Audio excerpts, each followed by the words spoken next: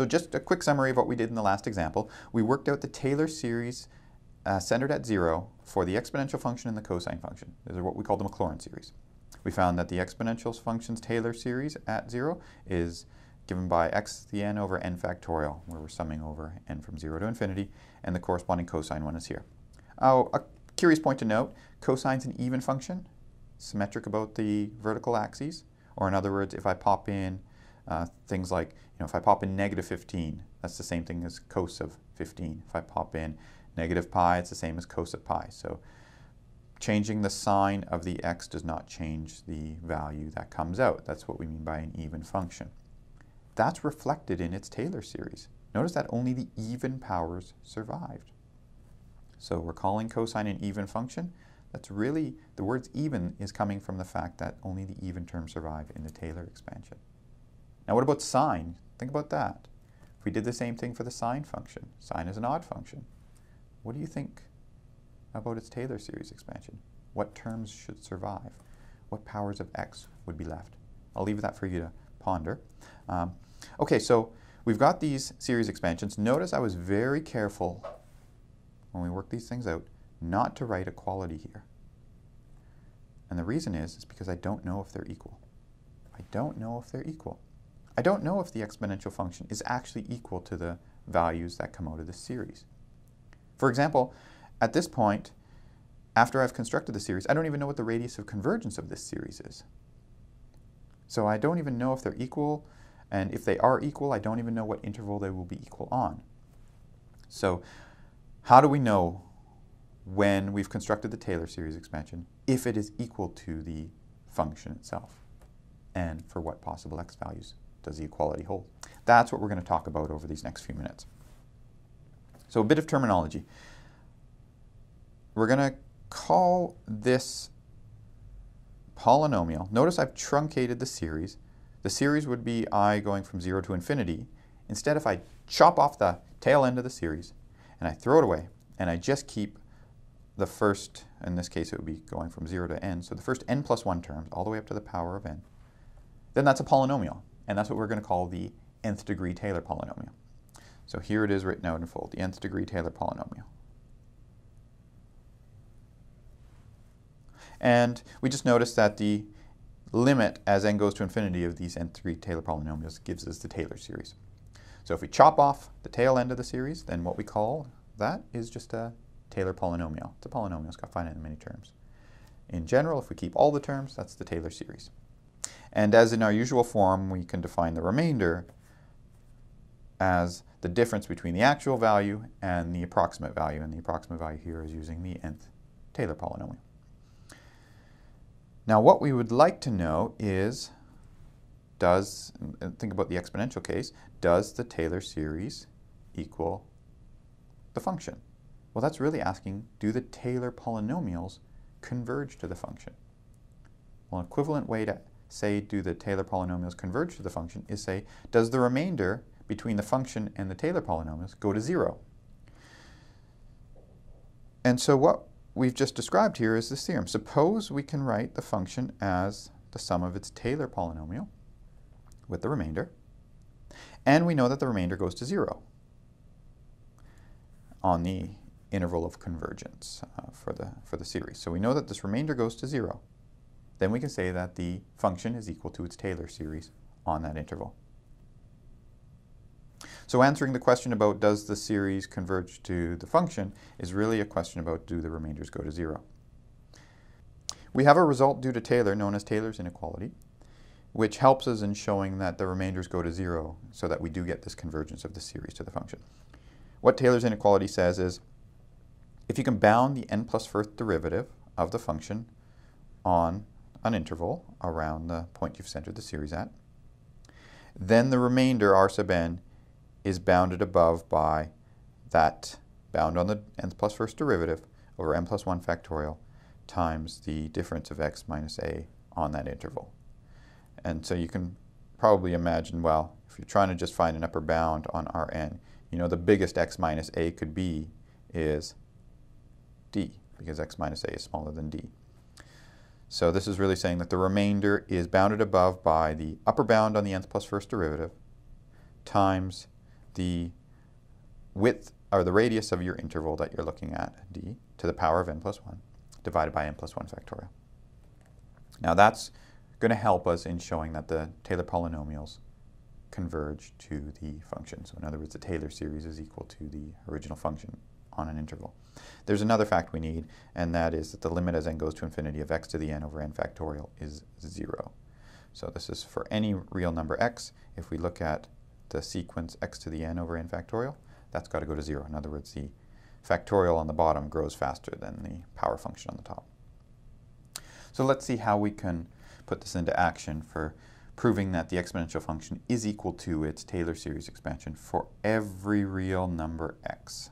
So what we're trying to prove in this is that we do have the equality here, and that equality holds for all values of x. So in other words, I can evaluate e to the x by working out the series expansion for that particular x value.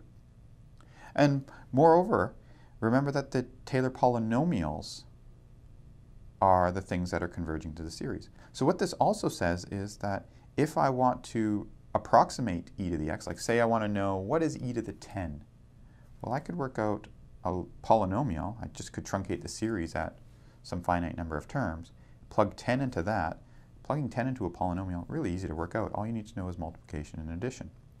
And then their inverse operations, which is uh, division and subtraction. But I can work out the value of e to the 10 by plugging 10 into some finite, well, plug 10 into the series, but I can approximate it by using only finite many terms. So this is, this is starting to indicate how we would use series expansions to approximate functions. Okay, so how do we go ahead and show that we have equality here? So in each case, whether it's A or B, we want to show that the limit as n goes to infinity of Rn of x equals 0. And in this case, we want to do it, since in both cases we're trying to show equalities for all x, we want to do this for all x in R. That's our goal, try to show that the remainder goes to 0. And we have Taylor's inequality, which gives us an upper bound on the remainder. So again, let's remind ourselves with Taylor's inequality. Taylor's inequality says I need to know the bound on the nth plus first derivative. But since I'm trying to show that the limit of the remainders goes to 0 as n goes to infinity, I really need to know an upper bound on all derivatives. So once I find my upper bound on all derivatives, I can work out the uh, nth remainder, and then try to show the limit of the nth remainder is 0. So let's have a look. Our function is e to the x. Any derivative of that function is also e to the x. So now what we're going to do is we're going to work on some interval. So we're going to fix a number d and work on the interval x values less than d. So in other words, we're working on the interval negative d to d. Okay, so we're going to work on this interval. Later we're going to say, after we've done this, that our argument worked for any value d, so it works on the entire real line, for x on the entire real line. But right now we're just going to focus on some interval about where we centered the series at, and that was 0. Okay, so we fix a number d. Now, on the interval x less than d, we have that the nth derivative of x is bounded above by e to the d. Well, we know that the nth derivative is e to the x. And so if we're working on just an interval where the x value can be at most d, then the nth derivative is at most the value at e to the d. So it's bounded above by e to the d. And now by Taylor's inequality,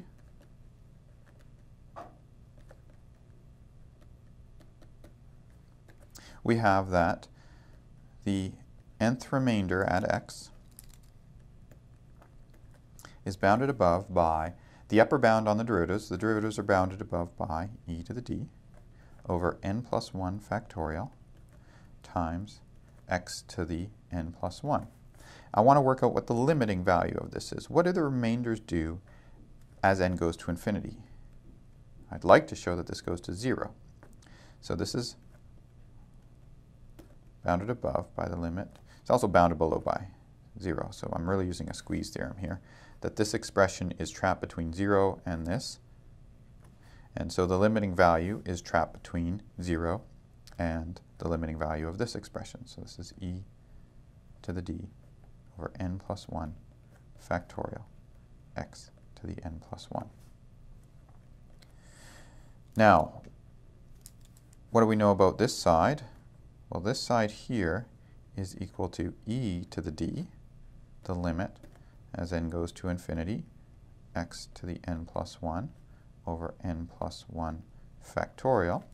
And that's where that other fact comes in that we had.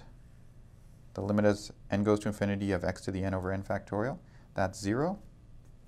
So that means that this thing is equal to 0. So what we have is that this expression goes to 0. This is already 0. And so our limit, which is trapped between 0 and 0, must also be 0. So by the squeeze theorem,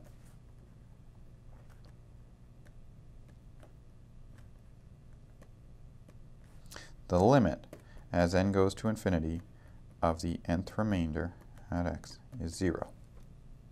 And that's what we wanted to show. That's what we wanted to show. So what that means is, therefore, the series x to the n over n factorial, n goes from 0 to infinity, that series the remainder of the values I get, for any x value I pop into this thing, the remainder I get, oh, uh, sorry, I should clarify. For any x value I pop into this thing that's smaller than d in magnitude, right, we had this thing here, smaller than d in magnitude. For any x value I pop into this thing with smaller than d in magnitude, the difference between the value I get in this series and the actual value of the function, which is e to the x, has to be 0. So they are equal. So this is equal to e to the x on the interval from x between negative d and d. But notice in my entire argument, d never actually was needed, aside from just setting up these upper bounds. But once I took the limit, things went to 0. So this works for any value of d. So it means it works for all real numbers r. So this is for all x in R. So we've proven now that the Taylor series expansion for e to the x is exactly equal to e to the x. We can do the similar thing for the next function, the cosine function. In fact, I'm not going to write it out, but I'm going to show you the big picture perspective. How can we do the same thing? Well, let's look through the exponential one. What we needed to do is we needed to bound the nth derivative. So then I think for the cosine function, its derivatives are going to be, well, sine, the, the sequence of derivatives would be derivative of cos is negative sine, then negative cos, then sine, then back to cos. And they just sort of cycle through sines and coses with plus or minuses appearing in front of them. What's the magnitude of sine and cos? Well, the biggest they could be is 1. So the biggest the derivative, any derivative of the cosine function, the biggest any derivative of it can be is 1. So in Taylor's inequality, this thing is going to be 1. And so what we have is that the remainder is bounded above by power of x over n, n plus 1 factorial. So the x to the n plus 1 over n plus 1 factorial. We know those limits go to 0. So the exact same argument can work. We run through this. This thing would change. It would be a 1 now. This would be a 1 now. But yet the limits still go to 0, so the remainder would be 0. So by an entirely analogous argument, we get the equality here.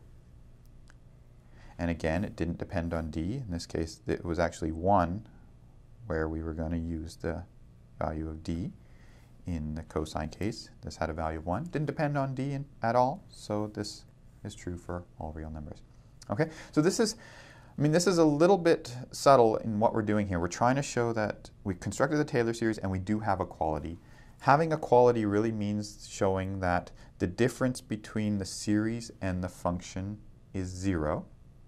Series can be thought of as a limit of these Taylor polynomials. So I'm really trying to show that the difference between the function and the nth Taylor polynomial, that difference gets smaller and smaller and smaller the more terms you use in the Taylor polynomial.